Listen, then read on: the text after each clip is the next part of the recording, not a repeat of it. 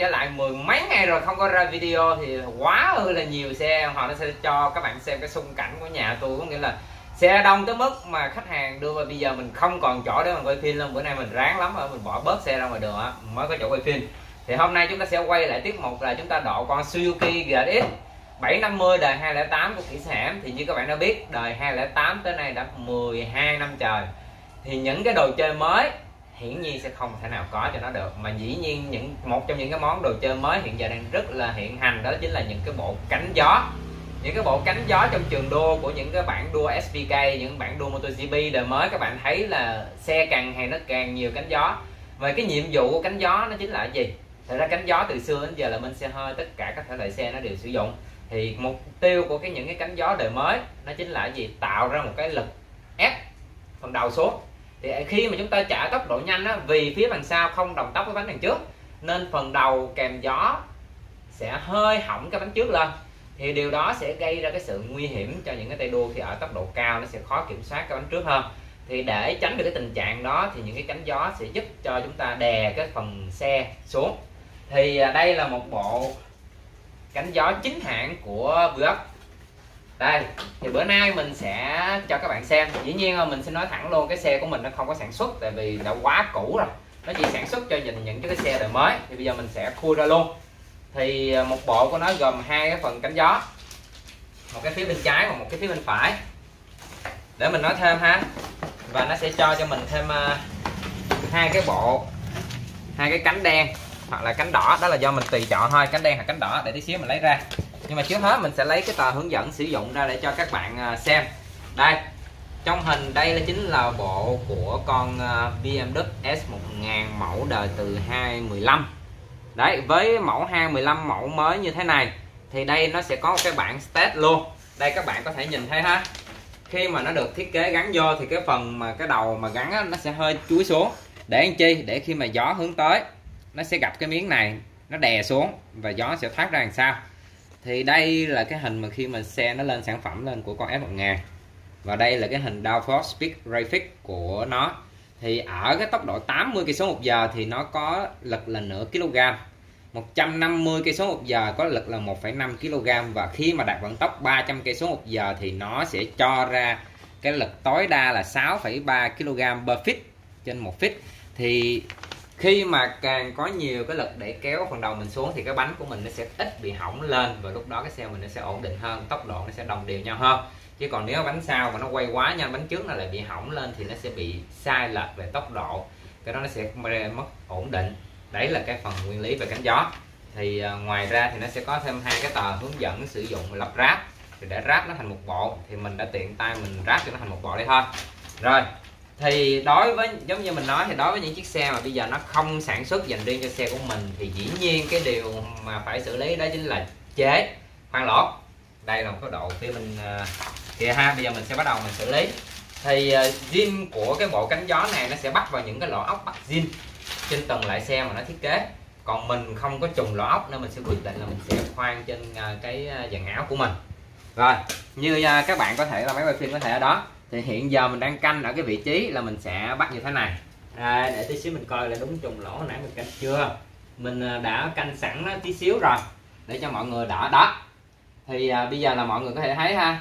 Hiện giờ là sau khi mình à, tạm ướm cái tay vào thì nó đã ở cái vị trí là phù hợp. Có nghĩa là cái à, phần này nó cánh trước nó hơi xéo xuống và phía đằng sau nó hơi nhóc lên để mà khi gió nó tới nó sẽ đào đè xuống và nó tạo ra cái lực nén xuống thì hiện giờ là mình sẽ khoan lỗ và mình sẽ sử dụng con vít bấm này để mà mình tạm cố định nó cho các bạn xem thôi. Còn ờ, sau đó mình sẽ phải tháo dàn áo ra thì nó rất mất là nhiều thời gian để mà xử lý cái phần bắt tán các thứ gì đó thì cái đó nó mất thời gian là mình sẽ không làm. Thì phía bên trong con su GX của mình á, thì nó chỉ ờ, có cái bình nước phụ. Nó có bình nước phụ bên đây.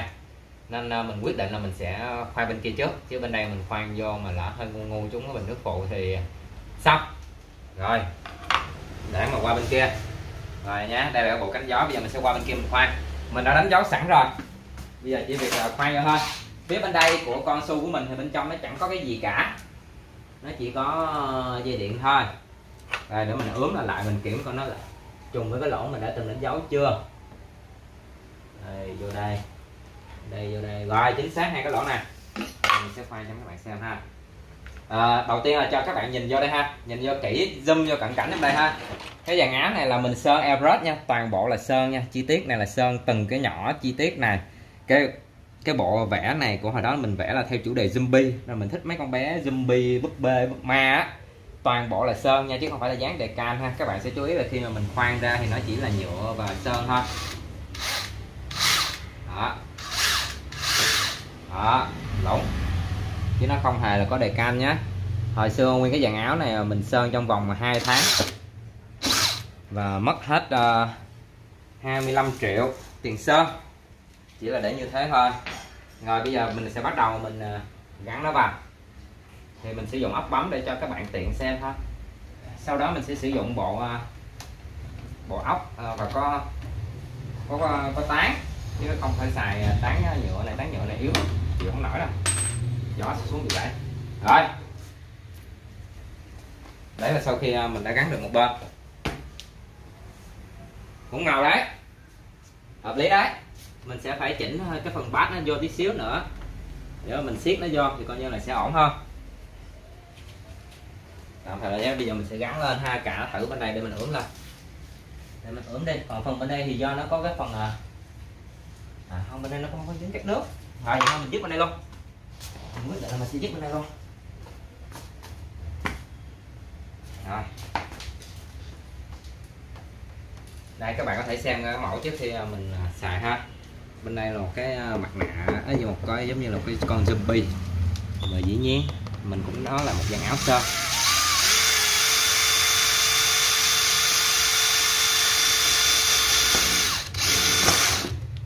rồi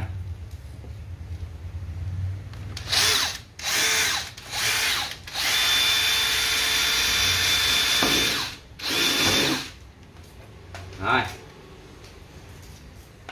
à, vô vậy đi Đánh vô quần áo đã còn à, chuyện à, mai rảnh thì mình sẽ bắt đầu mình tháo ra để mình xử lý cái phần đó. Đó bắt ra nè.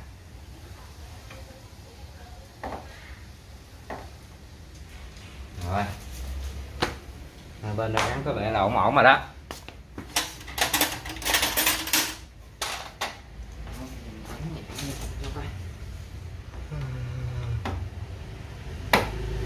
Vâng, vô rồi. Tuyệt vời. Rồi một cái rất là hay đó chính là cái sản phẩm Max Fit Pro. Mà lần trước mình đã từng làm cái video để mà nói về nó, thì cái sản phẩm này là cái sản phẩm cực kỳ tiện dụng, sử dụng cho tất cả mọi người. Ai mà yêu thích đam mê xê dịch hay là làm tài xế rap bi hay gì đó là đều nên mua nó. Tại vì nó rất là tuyệt vời khi mà có thể giữ cái điện thoại của chúng ta với lực 500 rất là mạnh, không thể nào rớt, không thể nào xúc mà như cái video trước đây mình đã làm, ai mà chưa xem thì xem cái link video ở dưới. Còn ai mà đã xem rồi mà vẫn còn chưa đủ điều kiện để có thể mua những cái bản mắt flip pro này, thì hãy nhanh tay lên nhé trong tháng 9 này thì bắt đầu từ cái ngày hôm nay là một cái chương trình super sale giảm giá. Thì cái bản pro này bình thường là bán 590 mà hôm nay thật là tuyệt vời khi mà đã giảm giá kích sang chỉ bán với giá 390 ngàn 390 ngàn thôi nhé. Và cái bản mà không có kèm sạc không dây thì hiện giờ chỉ còn 250 ngàn. Quá rẻ, phải nhanh tay lên tại vì chỉ có khuyến mãi trong tháng 9 này thôi. Ai có nhu cầu mua, vui lòng liên hệ theo cái description mình đã viết ở dưới để mà đặt mua ngay cho mình một cái bộ cho đúng điện thoại Samsung hay là đúng điện thoại iPhone hay là đúng điện thoại phổ thông của mình nhé bảo đảm rất là tuyệt vời. Kỹ sư hẻm đang sử dụng nó trên từng cây số của những cái chuyến đi tour của mình. Hai cái mình canh vị trí. Rồi nó xem nhau hết rồi giống nhau hết rồi đó. Rồi các bạn có thấy ngầu không? Thật là tuyệt vời. Đây là cái bộ ờ, cánh gió đã được uh, mình chế lấy từ mẫu nguyên mẫu ờ, bên đất S1000 để mình xử lý mình gắn qua. Hiện giờ nó đang đúng theo cái đường khí động học của chiếc xe luôn rồi.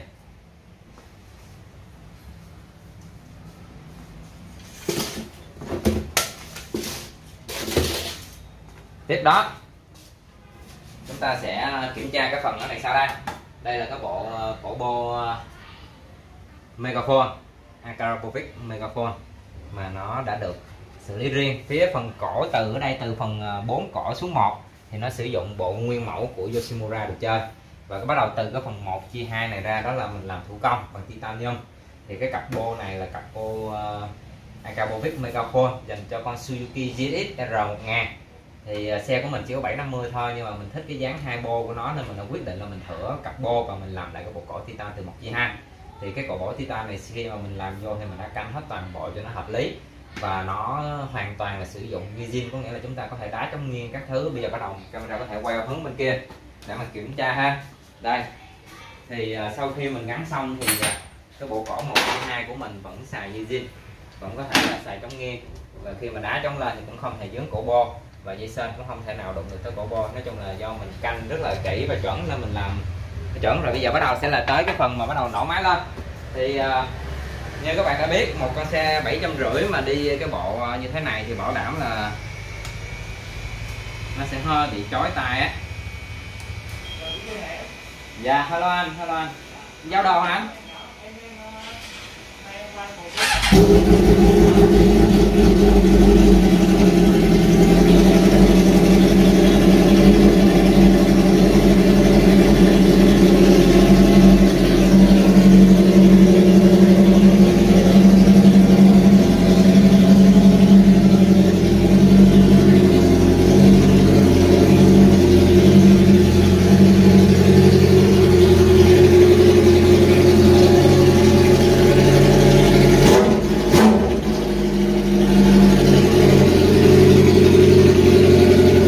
mình chạy ờ, được 50 ngàn rồi nha 50 ngàn km